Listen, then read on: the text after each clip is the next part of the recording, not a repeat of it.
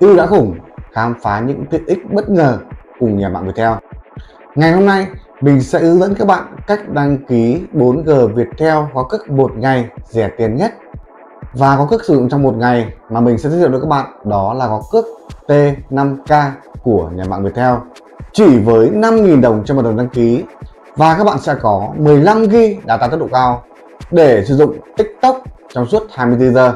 Để đánh dấu cước thì các bạn ấn soạn tin nhắn theo cú pháp T5K dấu cách TL gửi đến tổng đài 290 ngoài có cước sử dụng trong một ngày mà mình vừa giới thiệu với các bạn, thì tiếp theo trong video, mình sẽ giới thiệu thêm đến các bạn hai gói cước sử dụng trong 30 ngày của nhà mạng Viettel.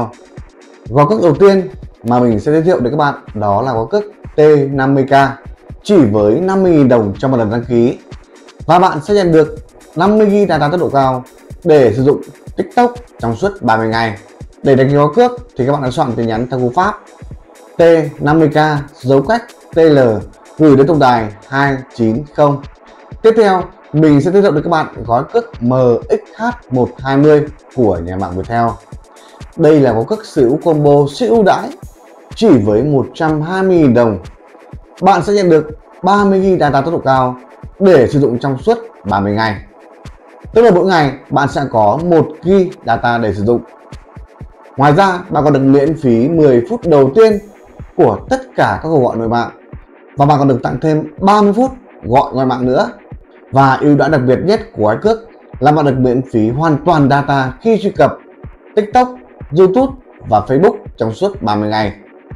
Để đăng ký gói cước thì các bạn ấn soạn tin nhắn theo cú pháp MXH120 dấu cách TL gửi đến tổng đài 290 và ngoài ba gói cước mà mình vừa giới thiệu với các bạn, thì các bạn có thể tìm kiếm các gói cước khác tại phần mô tả bên dưới video, hoặc truy cập tại website viettel.group Tại đây, mình sẽ giới thiệu đến các bạn đầy đủ các gói cước 4G của nhà mạng Viettel.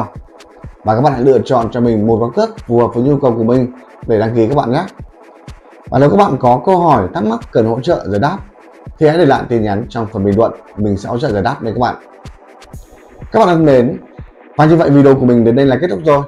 Cảm ơn các bạn đã theo dõi video của mình ngày hôm nay. Và đừng quên cho mình một like và một đăng ký kênh của mình. Còn bây giờ, xin chào và hẹn gặp lại các bạn ở những video tiếp theo.